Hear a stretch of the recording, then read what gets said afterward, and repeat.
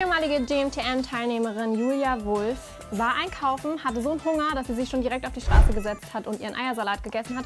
Und dann kam eine, naja, lustige, aber irgendwie auch unangenehme Verwechslung. Daneben ist nämlich so ein, so ein Jugendhaus, ne?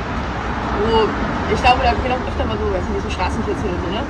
Und dann kommt der Typ, läuft an mir vorbei, guckt mich an mit seinem Hund und sagt so, brauchst du was zu beißen, Mädel? Soll ich dir was mitbringen? Vom Supermarkt? Brauchst du was? Ich so, was? Ja, was zu beißen. Wollt ihr euch was essen kaufen? Und ich so, was? Äh, nein, Mann, danke, passt schon.